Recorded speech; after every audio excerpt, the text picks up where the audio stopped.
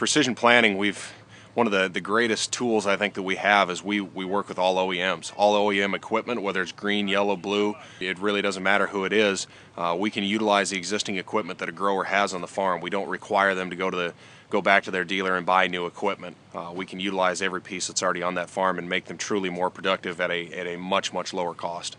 The great part of, of working with these OEMs, we have good relationships with them so that we can utilize their equipment. Uh, they can utilize a lot of what we have to help drive field scripts and make more uh, availability of equipment to increase the production. As, as we've uh, increased our product line, a lot of the OEMs have increased theirs as well.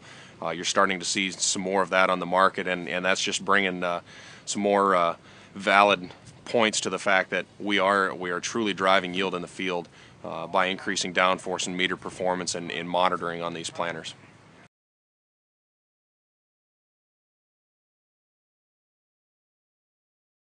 First things first, maintenance is key. Um, before we put any equipment on there, we can really increase yield just by paying attention to the, the maintenance aspect of the planter, making sure that we're truly treating the planter as, as a top performance implement on the farm versus, versus a endurance machine.